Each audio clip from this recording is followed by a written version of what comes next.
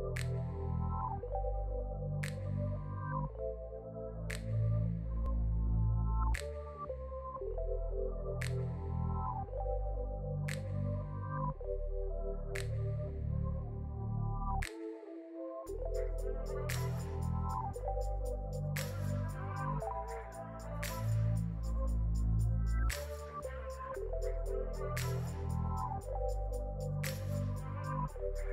back.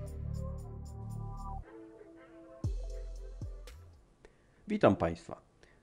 Dziś obrona sycylijska. Obrona sycylijska to mniej więcej taki typ obrony, jakim jest na przykład bomba atomowa. Można się nią bronić, ale o ileż przyjemnie atakować.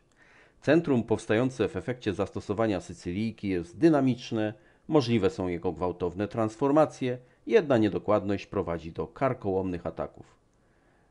No, brak niedokładności też. Sycylijska to jeden z najpopularniejszych debiutów, ale też najobszerniejszych. O każdym wariancie napisano tomy. Gdybym chciał je wszystkie pokrótce omówić, wyszłaby moda na sukces albo na wspólnej. Wybrałem więc jeden sympatyczny wariancik.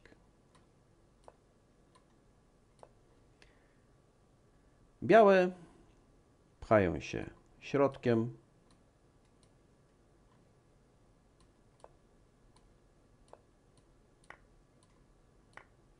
zostawiając sobie możliwość ataku na obu skrzydłach.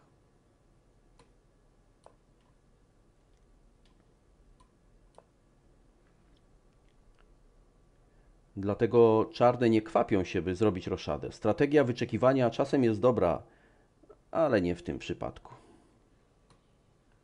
Białe niestandardowym ruchem ożywiają wieżę.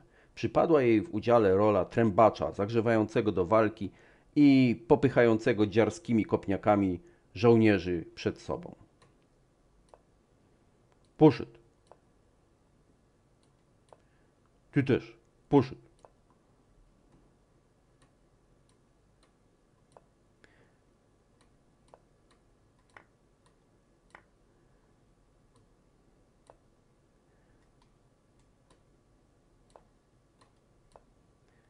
W wyniku operacji zaczepnej białe podeszły pod zamek Czarnego Króla. Zbadały, że co prawda nie ma w nim oczywistych dziur, ale konstrukcja jest licha i wystarczy zapukać, by posypało się próchno. Takie puk-puk to ruch G6. Powoduje, że przestaje istnieć pionek F7, podpora pionka E6. Oto jak przebiega walka.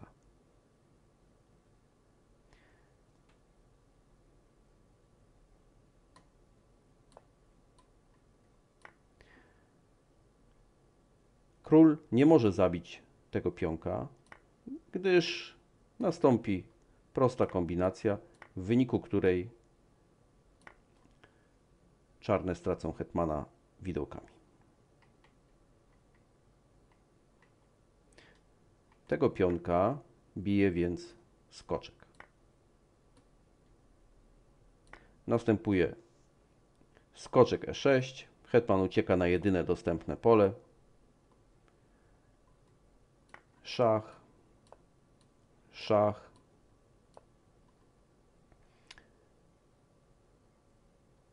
Białe za darmo nakarmiły konika kolejnym pionkiem. Teraz uznały, że można już wymienić hetmany. Ale ta wymiana wcale nie ułatwia czarnym obrony. Grozi paskudny mat na C7. Dlatego czarne grają skoczkiem. Ale to też prowadzi do agonii.